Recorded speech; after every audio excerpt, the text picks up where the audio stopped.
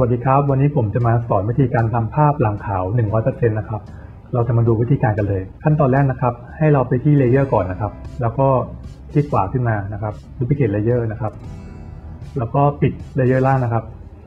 จากนั้นให้เราไปที่ฟิลเตอร์นะครับ แล้วก็ camera raw filter เราจะทำการแก้ white balance ก่อนนะครับ เพราะว่าภาพนี้มันติดอมสีฟ้ามา ส่วนใหญ่ถ้าถ่ายภาพมาแล้วใช้ auto white balance เนี่ย ส่วนใหญ่มันจะอมสีฟ้านะครับ ให้เราไปแก้นะครับ โดยการที่ไปที่ตรงนี้นะครับ white balance tool นะครับ แล้วก็ไปจิ้มบริเวณที่มันเป็นสีฟ้านะครับ ตรงนี้เราต้องการให้มันขาวร้อยเปอร์เซ็นต์ใช่ไหมครับ แต่ว่ามันอมฟ้าก็ต้องจิ้มตรงนี้นะครับปึ๊บอ่า ตอนนี้หลังก็จะออกมาเป็นสีขาวแล้วนะครับ ไม่อมฟ้าแล้ว จากนั้นเราจะทำการปรับแต่งต่อไปนะครับ ก็คือลูกแอปเปิลเนี่ยเราอยากให้มันสีสดขึ้นนะครับ แล้วก็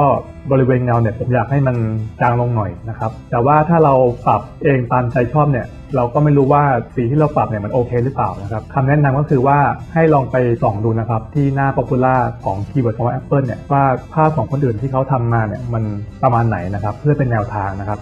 ก็คือเข้า Shutterstock นะครับแล้วก็พิมพ์คำว่า Apple แล้วเราก็มาดูที่หน้าป๊อปหน้าแรกนะครับ สีของ Apple ก็จะประมาณนี้นะครับสมมติว่าเราก็เลือกมาสักลูกหนึ่งเป็นแนวทางนะครับลูกที่มันคล้ายๆ กับลูกที่เรามีอยู่นะครับ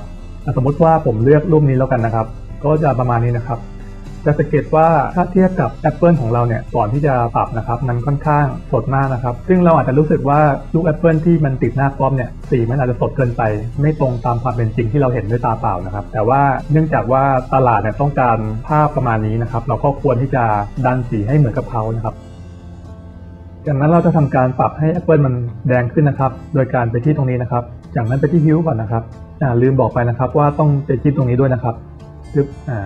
แล้วก็ไปที่ฮิวนะครับ แล้วก็ไปจิ้มบริเวณสีแดงนะครับ แล้วก็เลื่อนขึ้นเลื่อนลงนะครับ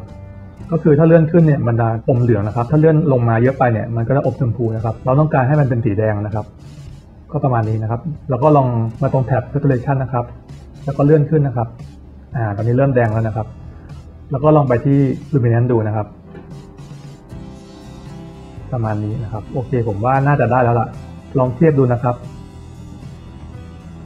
ก็ถือว่าใกล้เคียงแล้วนะครับ ผมก็โอเคแล้วกับรูปนี้นะครับ จากนั้นก็กดโอเคเลยครับ อ่าก็ถ้า Photoshop ของใครไม่มี Camera Raw นะครับ ก็ให้ไปทำในโปรแกรม Lightroom ก่อนนะครับ แล้วก็ค่อย Export มาทำใน Photoshop ต่อนะครับ ขั้นตอนต่อมานะครับ เราจะทำการไดคัตลูกแอปเปิลนะครับ ให้แยกจากพื้นหลัง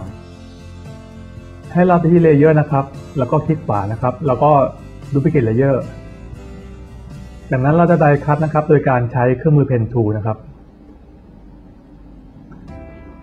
เพนตูอาจจะดูเหมือนยากนะครับสำหรับมือใหม่ แต่ว่าถ้าลองหัดใช้จริงๆเนี่ยมันก็ไม่ยากนะครับ วิธีการก็คือว่าให้เราจะ die cut รอบๆแอปเปิลนะครับ ก่อนอื่นก็คลิกที่จุดแรกก่อนนะครับ แล้วก็คลิกอีกจุดหนึ่งนะครับ แล้วก็ลากนะครับ มันจะมีขาโผล่ออกมานะครับ แล้วมันจะปรับความโค้งได้ด้วยนะครับ แบบนี้ จากนั้นเนี่ยให้เราจะทำการหักขามันนะครับ โดยการกด alternate นะครับ สังเกตว่ามันจะมีเครื่องหมายมุมออกมานะครับ เป็นแหลมๆนะครับ ให้เราจิ้มไปนะครับอ่ามันจะหักขาแล้วจากนั้นเราก็ไปจุดต่อไปนะครับแล้วก็ทำแบบเดียวกัน แล้วก็หักขานะครับ กดอัลเทอร์เนท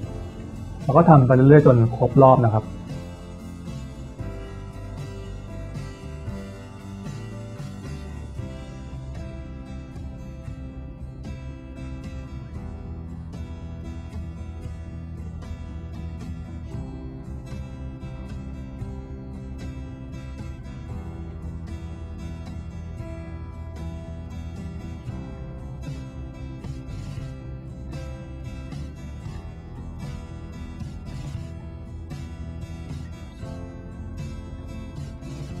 ทำต่อไปเรื่อยๆนะครับ จนกว่าจะวนครบรอบ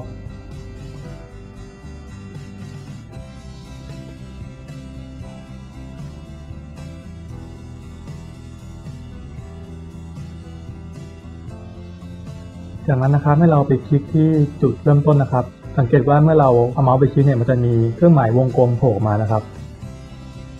แล้วเราก็คลิกไปเลยครับ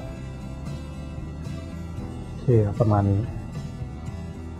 แล้วเราก็ตรวจดูความเรียบร้อยรอบๆนะครับ จากนั้นจะทำการคลิกขวานะครับ แล้วก็เราก็ไปที่ Make Selection นะครับ จะเกิดเส้นประรอบๆแอปเปิลนะครับ จากนั้นเราปิด layer บนนะครับ แล้วเราก็ไปเลือกที่ layer อันนี้นะครับ จากนั้นถ้าเราไปที่ select นะครับ แล้วก็ invert เราก็กด delete ครับ select นะครับ แล้วก็ deselect ขั้นตอนต่อมานะครับ เราจะทำการตกแต่งให้เงามันจางลงนิดนึงนะครับ เราจะย้อนกลับไปดู reference นะครับ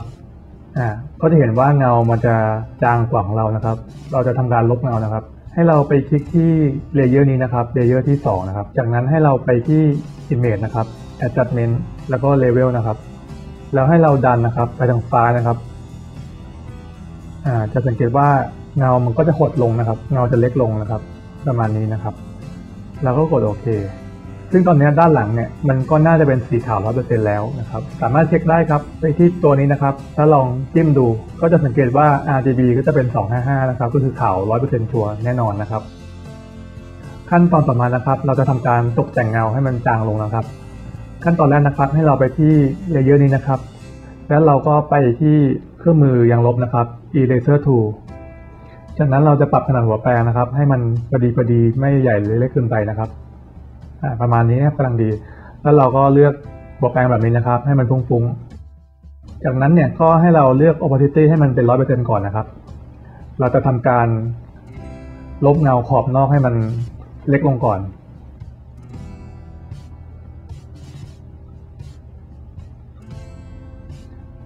แล้วก็ opacity นะครับ ปรับให้มันน้อยๆครับ สักสิบเปอร์เซ็นต์นะครับ ประมาณนี้ ลองเทียบกับภาพต้นแบบนะครับ ที่เราดูเป็นแนวทางอ่าอันนี้เงายังเยอะอยู่นะครับ เราสามารถที่จะให้เงาเนี่ยมันหดเข้าไปได้นะครับ โดยการไปที่ image adjustment นะครับ level แล้วก็ดันตรงนี้ไปทางซ้ายนะครับ เงาก็จะหดเข้าไปอีกอีกนิดนึงนะครับ ประมาณนี้ ก็เสร็จแล้วนะครับสำหรับขั้นตอนการทำภาพหลังข่าวนะครับ จากนี้ก็ทำการครอปเลยครับ เพื่อความสวยงามนะครับ ก่อนส่งภาพไปขายนะครับ ครับจากนั้นเราก็เซฟได้เลยครับ ก็เป็นการเสร็จขั้นตอนแล้วนะครับทำภาพหลังข่าว100%นะครับครับคลิปนี้ก็ต้องขอจบแต่เพียงเท่านี้นะครับ ยังไงถ้าเพื่อนๆชอบคลิปนี้คลิปนี้เป็นประโยชน์นะครับ ฝากกดแชร์ให้ด้วยนะครับ แล้วก็ฝากติดตามเพจผมด้วยนะครับบอยโกโฟโต้นะครับ วันนี้ก็ต้องขอจบแต่เพียงเท่านี้นะครับ สวัสดีครับ